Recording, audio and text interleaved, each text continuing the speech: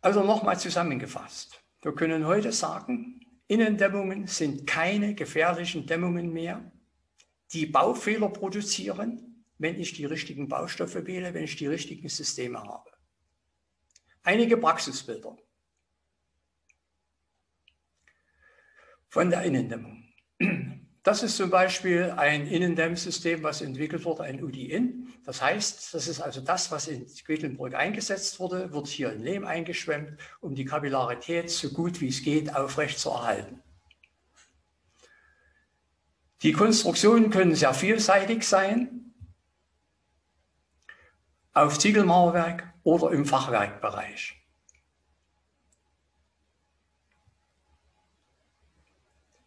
In der Praxis sieht es dann einfach so aus, dass hier also bereits äh, mit entsprechenden Maschinen Lehm aufgetragen wird oder Putz aufgetragen wird, je nachdem, wo die Platte eingeschwemmt wird. Hier sieht es hier. Das ist also das UDI-In-System in der Sanierung. In der Denkmalpflege, außen darf nichts gemacht werden, Rundbögen oder dergleichen. Alles kein Problem. Verarbeitung relativ unkompliziert. Das neue System UDIRECO in der Verarbeitung als Außendämmung, als Innendämmung. und wir haben hier bei dieser UDIRECO haben wir einen besonderen Vorteil. Das heißt hier, diese Übergänge hier, in diesen Bereichen hier, diese Übergang, das ist das Entscheidende, auch bei der Außendämmung hier. Er ist immer formschlüssig. Dasselbe würde bei der Innendämmung passieren, wenn ich mit diesen Systemen arbeite. Dann haben wir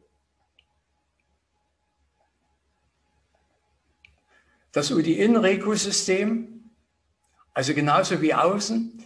Ein Ziel dieser Entwicklungen von Systemen war, möglichst eine geringe Vielfalt von Elementen. Damit werden Verwechslungsfehler ausgeschlossen. Ich kann also diese Platte außen sowohl als auch innen einsetzen. Die Frage wäre, wenn jetzt zum Beispiel bei dem Außensystem die Platte beregnet würde, würde da etwas passieren?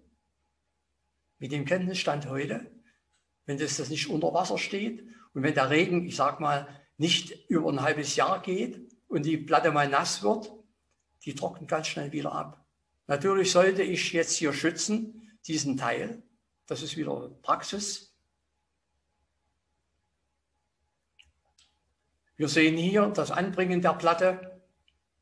Und auch wieder diese Formflüssigkeit in diesem Bereich. Das Dübelbild. Leitungen, Steckdosen werden eingefräst. Alles unkompliziert. Wir sehen hier das Problem der, Beug der Holzbalkenköpfe.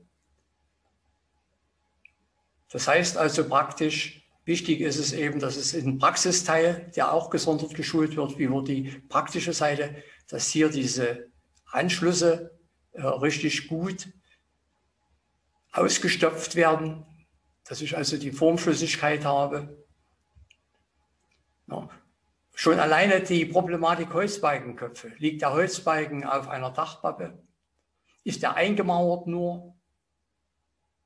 Na, das spielt ja alles eine Rolle hier. Um sicher zu gehen, dass es also nicht zu Holzfäulnis kommt, zu Holzschäden hier. Natürlich äh, haben wir auch eine Geschichte, das ist das Systemdenken. Äh, Sicherheit in der Befestigung, ich meine, bei Innendämmung ist es weniger kritisch.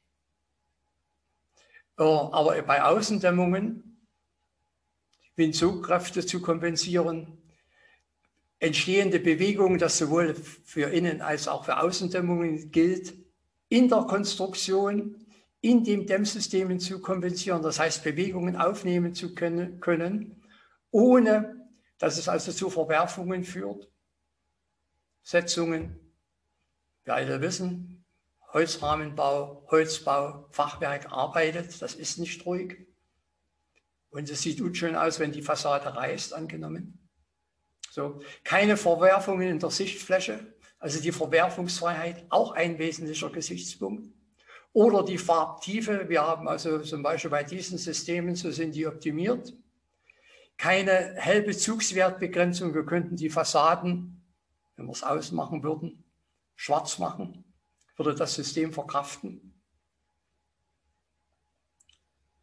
Dazu wurde eben bloß mal ein Abschweif, äh, ein spezieller Dübel entwickelt, der an den Seiten Krallen hat. Dieser Dübel hat die Aufgabe, das System verstellbar zu machen. Wir werden es gleich sehen. Das heißt also, bei diesem speziellen System, diesem Rego und UDI-In-Rego-System, habe ich die Möglichkeit, gewisse Unebenheiten auszugleichen. Das kann ich mit dem Laser machen, das kann ich mit der Schlagschnur machen. Der Dübel wird eingeschraubt, es wird leicht verdichtet hier. Hier wird der Dübel so lange geschraubt, bis der Dübelkopf plan zur Platte liegt. Dann wird die wieder zurückgenommen, wird wieder entspannt. Damit prüft der Dübel und die Schraube den Formschluss im Stein. Sollte der Stein es nicht hergeben oder irgendetwas schiefgelaufen sein, dann schnappt praktisch der Dübel wieder zurück. Das heißt, es ist das einzigste System zurzeit am Markt, was sich selbst prüft. Und wir alle wissen, die Windgeschwindigkeit zum Beispiel bei Außendämmungen werden wesentlich höher. Die Sogkräfte nagen und das ist nicht zu unterschätzen. Das heißt, jeder einzelne Dübel prüft sich selbst beim Befestigen. Wenn er nicht passt, springt er zurück. Hier. Also wir machen nicht mal einen Dübelauszugversuch, sondern wir prüfen am Bau direkt dort, wo geschraubt wird. Also kein momentanen Augenblick. Und das Ganze sieht äh, dargestellt so aus. Wir haben hier den Ziegelstein.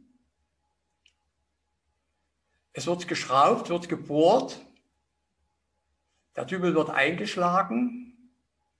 Und wir sehen hier in diesem Bereich nähert sich der Kopf der Platte. Er schraubt weiter. Die Platte wird verdichtet. Wird verdichtet. Das heißt, hier wird jetzt der Kraftschluss praktisch geprüft. Die Krallen greifen ein über der Schraube. Hier verkreist sich diese Kralle und macht das System in gewissen Grenzen verstellbar. Das hier ist der Laserstrahl. Und ich kann also dann praktisch in gewissen Grenzen dieses System einstellen.